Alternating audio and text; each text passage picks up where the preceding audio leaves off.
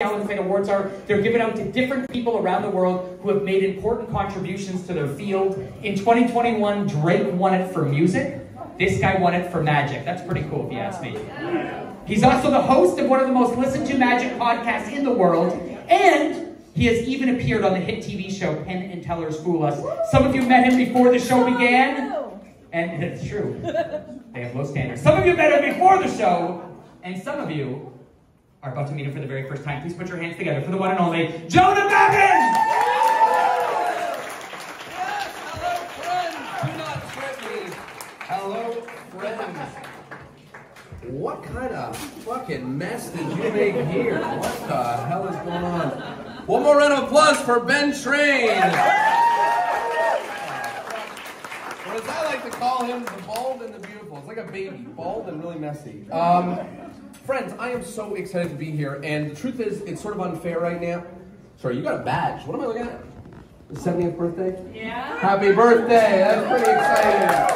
Oh my gosh. Okay. Um, what I was gonna say was that it's sort of not fair because you guys have already got a chance to see some magic, get a little bit warmed up, but I was just standing back there. So would it be all right with you if I get a little bit warmed up? Is that cool? Yes. Okay. Some claps from you, my friend. Okay. Um, first, uh, let me sort of explain what we're gonna do. This is a game with a ball and a cup. Here's how it works. I drop the ball inside of the cup. I give it a shake like this. I may steal the ball out and put it inside of my pocket. It's your job to follow along whether I leave it here um, underneath the cup or if I steal it out and put it inside of my pocket. The rules of the game make sense? Yeah. Okay, let's start with someone. You, sir. What's your name? Steve. Steve. I like the way you said that. Steve. First round, just for me and you, only Steve. Steve, where should the ball be? in my pocket. Steve, you are going to be perfect for this. This is going to be great. It's going to be amazing. Okay, now hold on, hold on, Steve. That was fast. Let's try it again, Steve. Here we go. One, two, three. I'll try to make it easier. Where is the ball? It's either here in my hand or it's here in the cup. Steve, it can be anywhere. It can be here in my hand or here in the cup. Steve, the world is your oyster. Here in my hand and the cup. Steve, what would you guess? Steve, we're going to try this thing again.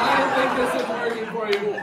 Steve, as a matter of fact, because this is going so well for me and so poorly for you, uh, we're going to bet some money. Okay, Steve? If you get this right, you get $100 from that guy, okay? Sitting in the front, he must be rich. Okay, here we go, Steve. Three, two, one. No hints this time. Where is the ball?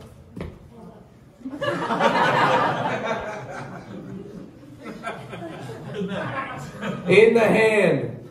Now, Steve, there's so much on the line. A hundred of his dollars. Um, did you want to change maybe to the cup? No. Wow. Now, Steve, had you said the cup, that would have been wrong, but you said my hand, and that is also wrong. I put it inside of my pocket. There's no way to win, Steve. There's no way to win. Now, here's the thing. No, no, no. I don't want your pity claps, man. Here's the thing. Steve, I'm going to show you how I did this so that you can do this and steal money from your friends, okay? Or from your enemies, whoever you want. Here's how it works. Take the ball, take the cup, drop it inside, give it a shake like this. Now when I take the ball out and I put it inside of my pocket, here's what you don't realize. I've already snuck another ball underneath the cup. There is a spare. So you look over here, I show you over there. You look over there, I show you over here.